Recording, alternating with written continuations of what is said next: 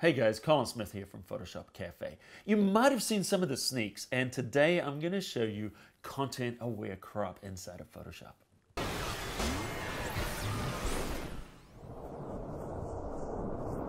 Hey Cafe crew, thanks for watching.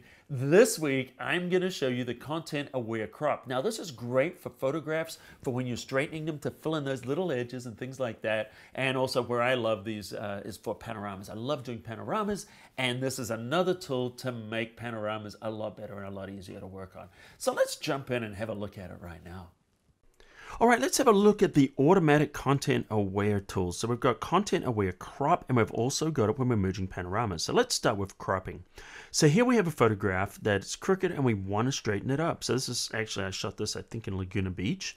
And I'm just going to grab my little crop tool here. And to straighten it, we grab the straighten tool and just simply drag it along the horizon and then we release it.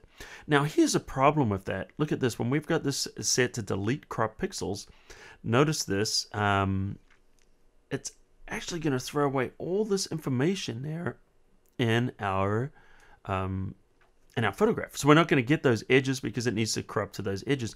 But however, we can extend beyond that. So if we take these corners and drag them out, and we'll drag out the other corner here, and we want to include the whole photograph, so there we go, we've got that. The problem with that is look at all these areas where there's no information. So these would be just filled in with white. And previously we'd have to go in and we'd have to manually try to fix these.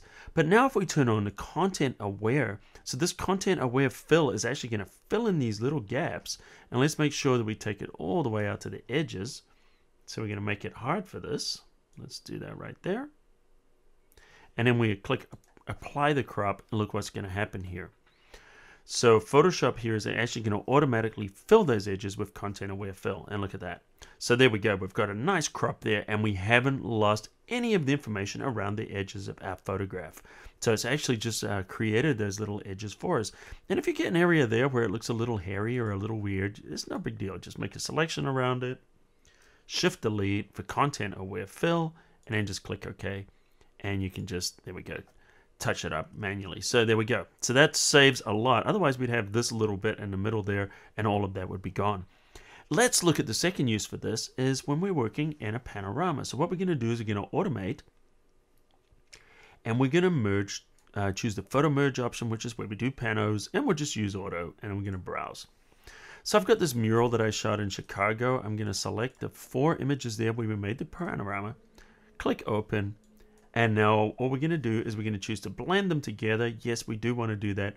But we also want to do content aware uh, fill on the transparent area. So we're going to click OK. And this is going to create a panorama, but it's also going to fill in the edges. And the other thing Adobe's done too, if they've actually made the algorithm work even better for content aware fill like this than it would be trying to do it manually afterwards. So you can see around the edges there, those are the areas that would have been uh, just nothing, transparent pixels, and it's uh, filled that in. So you can see it's done a pretty good job.